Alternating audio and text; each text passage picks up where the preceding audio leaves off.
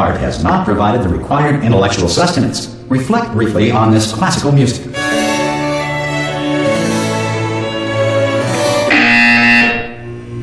Good. Now please return to your bed.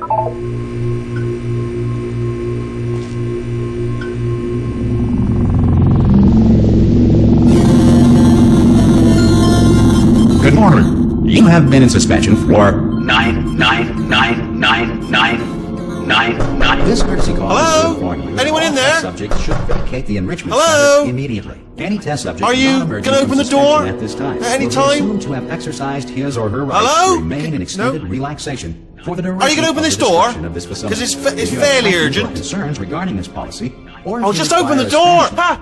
Ah! God, God, you look te- um good, looking good actually. Are you okay? Are, are you? Don't answer that. I'm absolutely sure you're fine.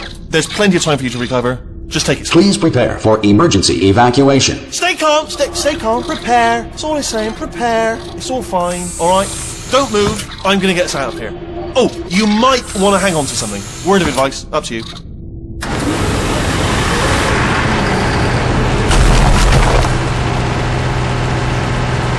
You all right down there? Can you hear me? Hello?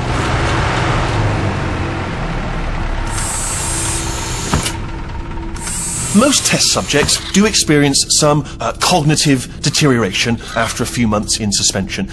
Now, you've been under for quite a lot longer, and it's not out of the question that you might have a very minor case of serious brain damage. But don't be alarmed, all right? Uh, although if you do, if you do feel alarmed, try to hold on to that feeling because that is the is the reaction to being told that you've got brain damage. Do you understand what I'm saying at all? Does any of this make any sense? Just tell me. Just say yes. Okay, what you're doing there is jumping. Uh, you just you just jumped. But never mind. Say apple. Apple. Okay, you know what? That's close enough. Just hold tight. All reactor core safeguards are now non-functional. Please prepare for reactor core meltdown. Okay, look, I wasn't going to mention this to you, but I'm in pretty hot water here. How are you doing down there? You still holding on? The reserve power ran out, so of course the whole relaxation centre stops waking up the bloody test subjects. Hold on, this is a bit tricky. And of course, nobody tells me anything. No, why should you tell me anything? Why should I be kept informed? You know, about the life functions of the 10,000 bloody test subjects I'm supposed to be in charge of. Why? It's close. Can you see? Am I going to make it through? Have I got enough space? Uh, just, just gotta get through here. Okay, I just gotta concentrate. And whose fault do you think it's to be when the management comes down here and finds 10,000 flipping vegetables?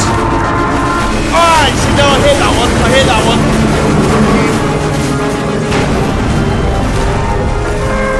Okay, listen, we should get our stories straight, alright? If anyone asks, and no one's to ask, don't worry, but if anyone asks, tell them as far as you know, the last time you checked, everyone looked pretty much alive, alright? Not dead.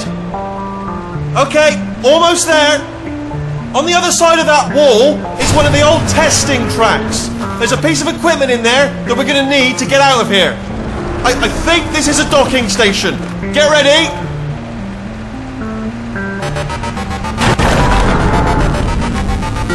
Good news, that is not a docking station. So there's one mystery solved.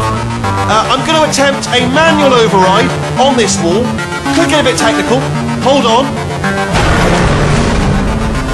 Almost there.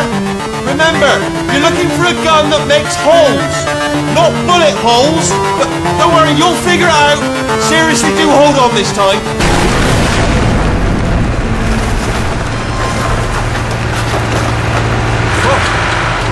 Go. Now, I'll be honest, you are probably in no fit state to run this particular type of cognitive gauntlet.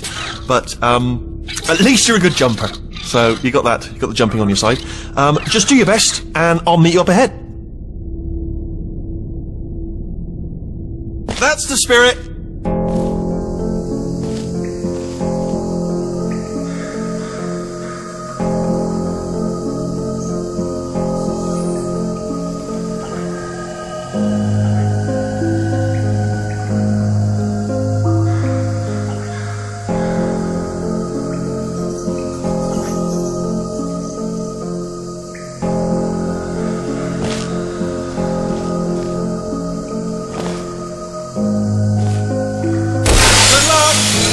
Hello, and again welcome to the Aperture Science Enrichment Center.